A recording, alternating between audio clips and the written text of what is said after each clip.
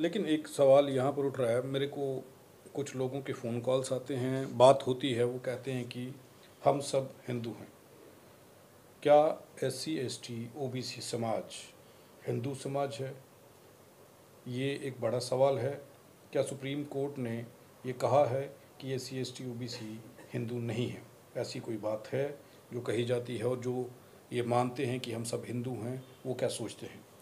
अगर आप भी चाहते हैं R T I India news Bahujan समाज की आवाज़ ऐसे ही उठाता रहे आपकी आवाज़ सरकार के कानों तक पहुँचाए जो खबरें आपकी सरकार तक नहीं पहुँच रही जो मुद्दे नहीं पहुँच रहे उन मुद्दों को सरकार तक पहुँचाए तो R T I India news का आर्थिक सहयोग करें। हर महीने पचास रुपये दे करके R T I India news को बंद होने से बचाएँ ताकि R T I India news आपकी आवाज़ बना रहे। देखिए S C S T O B C का पैटर्न अगर हम समझें धर्म में धर्म के हिसाब से तो इनका एक ही धर्म है बुद्ध धर्म आज से करीब 800 वर्ष पहले तक पूरे इस सब कॉन्टिनेंट में सिर्फ़ भारत की बात नहीं कर रहा भारत से जितने देश निकले हैं और जितने इनके आस पड़ोस के देश हैं यहाँ तक कि अमेरिका में ऑस्ट्रेलिया में आयरलैंड तक आयरलैंड तक खुदाई में बुद्ध निकल रहे हैं। तो एक बहुत बड़ा अ, हमें ये समझने वाली बात है बहुत गहरी बात है कि जितने भी लोग भारत में रहते थे वो तकरीबन बुद्धिस्ट से और बुद्ध ही वे ऑफ़ लाइफ था बुद्ध ही सनातन है। बुद्ध के धम्म में ही लिखा हुआ है सो धम्मो सनातनो। तो सनातन जिस सनातन की बार बार बात होती है वो बुद्ध ही है। नहीं आप कह रहे हैं कि बुद्ध ने सनातन की बात की है। सनातन जो है उसकी अगर बुद्ध ने बात की है तो अगर अब हिंदू राष्ट्र बनाने की बात की जा रही है वो भी सनातन की बात कर रहे हैं। तो फिर ठीक रास्ते पर जा रहे हैं फिर मतलब सनातन धर्म का देखिए इसी इसी इसी इन्हीं दो शब्दों में सारी गेम छु, छुपी हुई है। जब आप उनसे पूछते हैं कि आप हिंदू राष्ट्र बनाना चाहते हैं तो हिंदू की डेफिनेशन बताइए। कोई जवाब नहीं। किस ग्रंथ में लिखा हुआ है?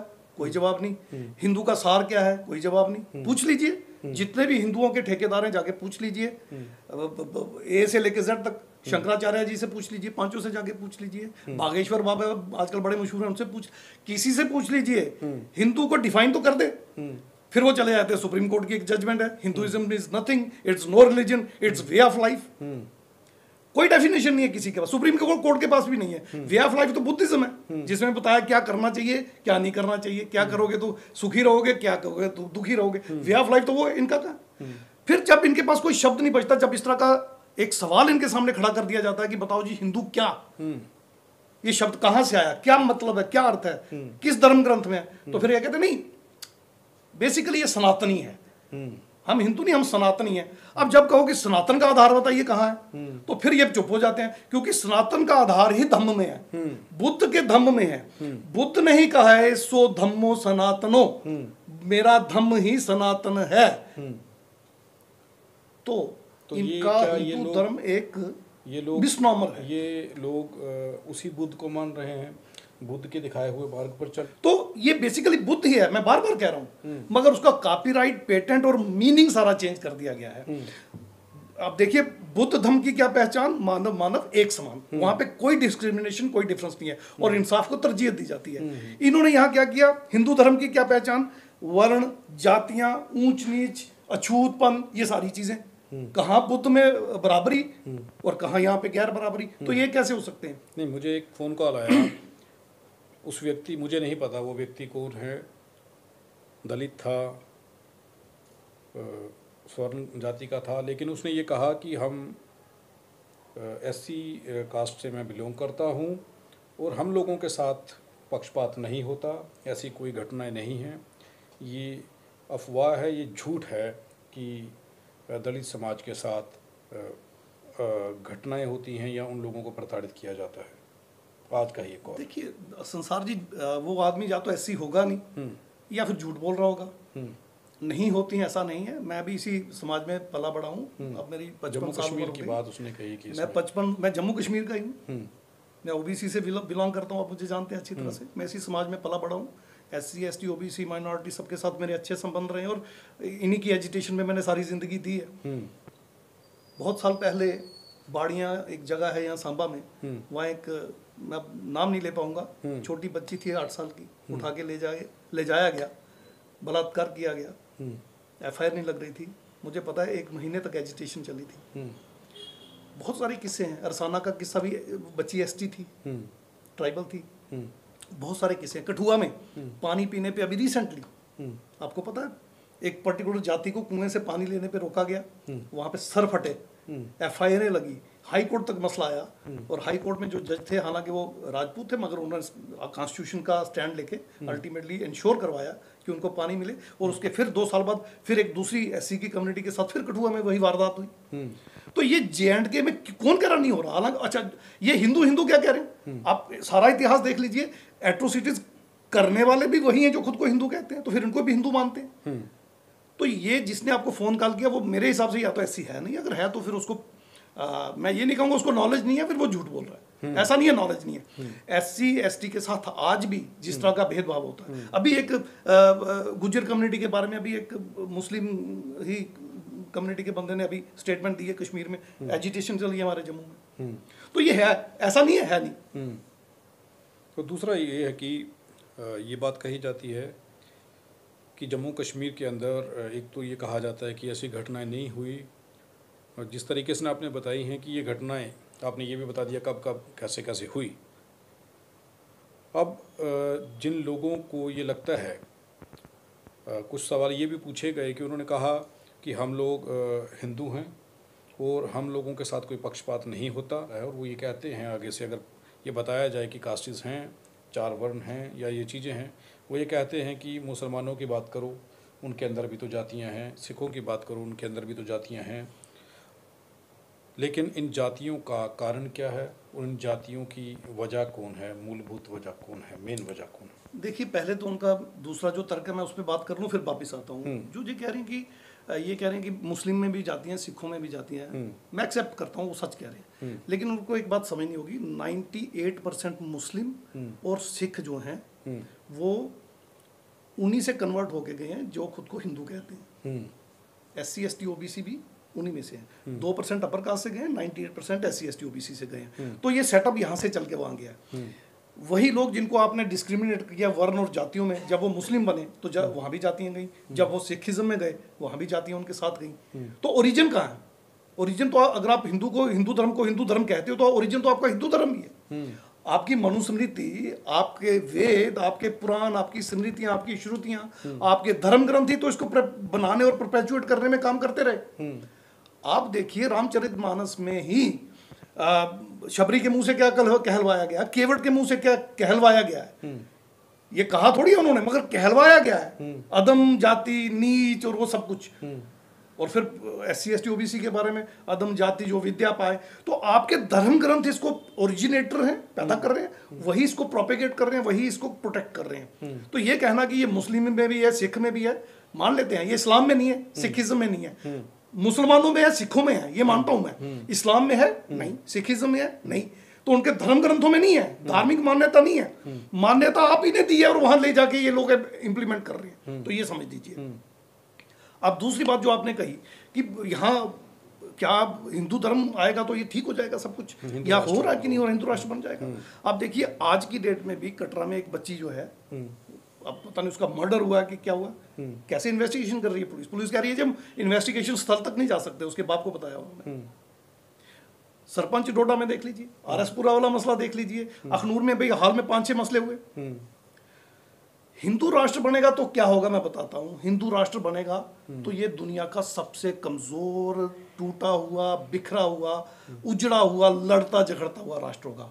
धर्म के आधार पे बने हुए राष्ट्र कभी मज़बूत नहीं होते। उदाहरण देता हूँ, जब तक नेपाल हिंदू राष्ट्र था, उसकी हालत देख लीजिए। लोकतंत्र आने के बाद अब उसने उभरना शुरू किया। दूसरा उदाहरण देता हूँ, पाकिस्तान भी तो इस्लाम के बेस पे बना। धर्म के बेस पे बना ना, धार्मिक कट्टरता ही तो थी कि इस्लाम अलग मुल्क होना चाहिए। क्या हालत है पाकिस्तान की? अगर इससे भी बदतरीन हालत आपने अपनी करनी है तो आप इसको हिंदू राष्ट्र डिक्लेयर कर दो। मुख्य बात जो मैं कहना चाहता हूँ। लेकिन ये भी तो हो सकता है कि एक अच्छे स्तर पर हिंदू राष्ट्र का निर्माण किया जा रहा हो।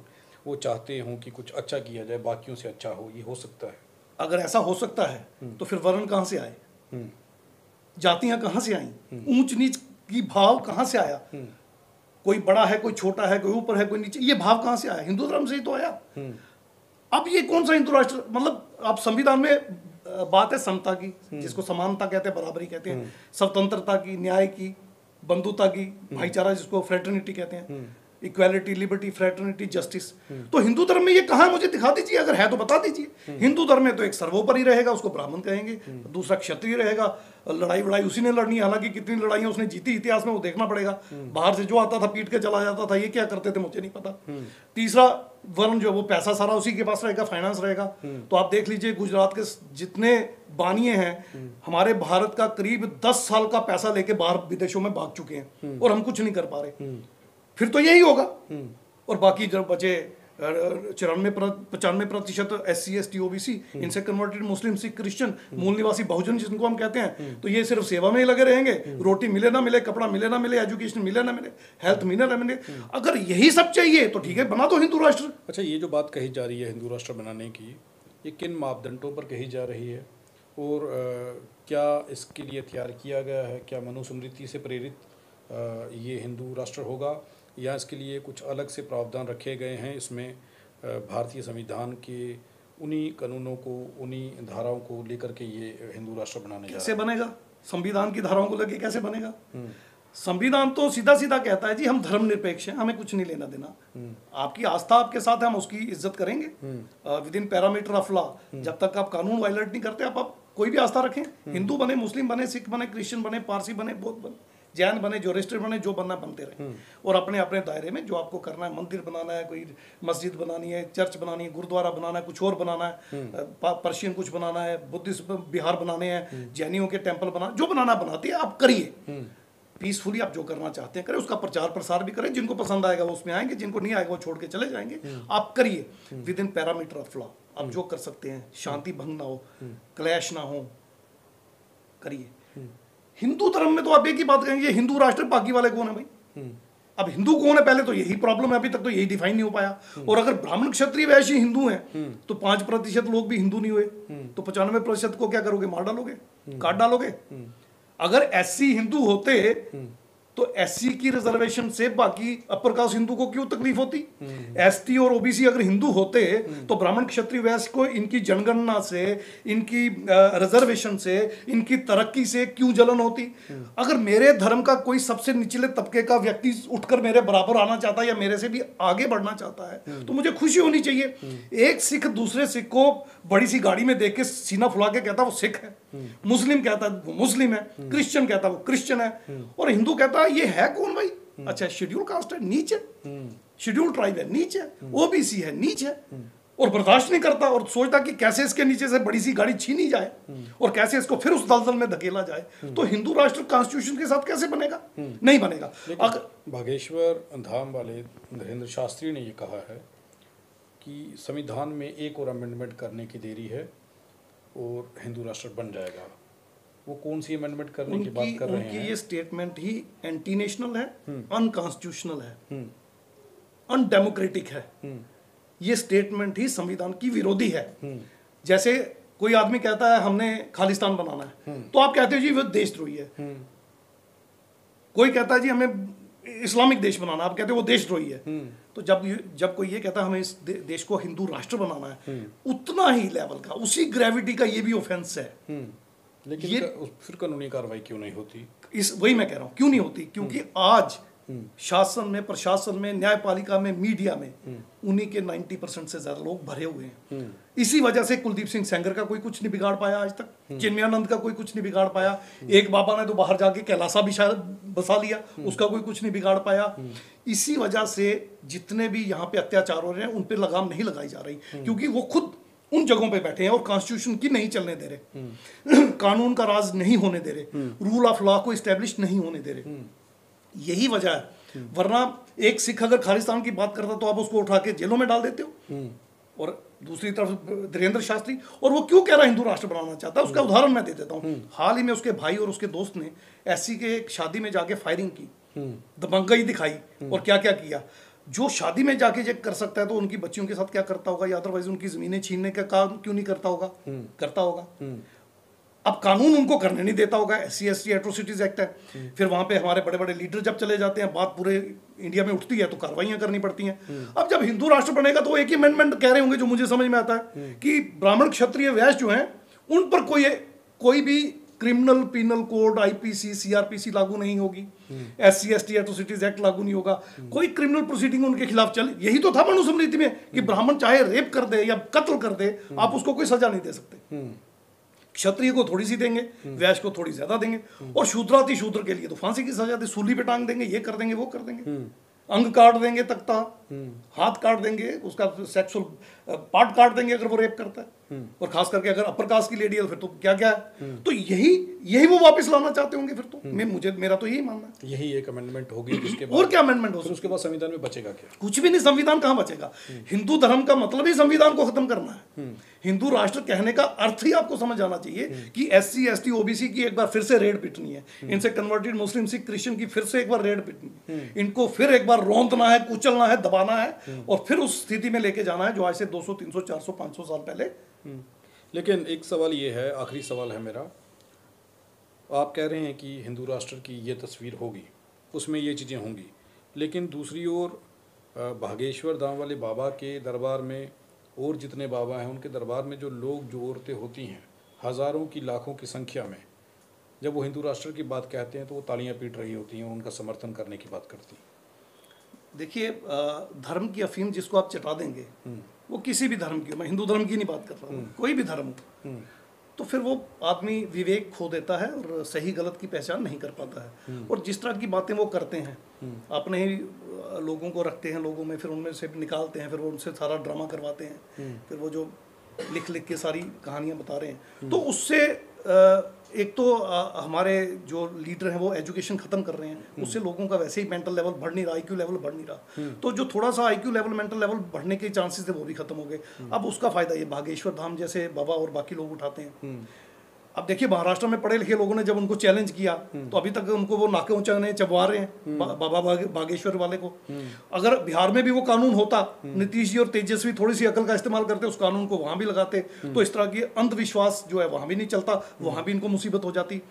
बाकी स्टेटों में जहाँ जहाँ भाजपा का राज नहीं है वो अकल करें और वो महाराष्ट्र वाले उस कानून को अडॉप्ट करें। क्योंकि वो तर्कशीलता और साइंटिफिक और रीजनिंग और लॉजिक बेस्ड कानून है। तो उसको लागू करना चाहिए वो कर नहीं रहे। तो इसलिए बागा बागेश्वर बाबा जो है वो लोगों को बेवकूफ़ बना रहे हैं। और वहाँ बैठ के वो जो भी कहना चाहते हैं कहते हैं उन्होंने इवन रजत शर्मा के प्रोग्राम में कहा। फिर वो कहते हैं कि हम सिर्फ़ एक ही धर्म को धर्म मानते हैं वो है हिंदू धर्म। फिर उसने कहा हिंदू धर्म क्या? फिर कहता नहीं नहीं सनातन धर्म। देखिए उसका इंटरव्यू फिर उसने कहा ये क्रिश्चियन मुस्लिम सिख कहता अब इनको धर्म ही नहीं मानते ये तो पंथ है जी। अब इस चीज़ का फैसला कौन कर रहा है?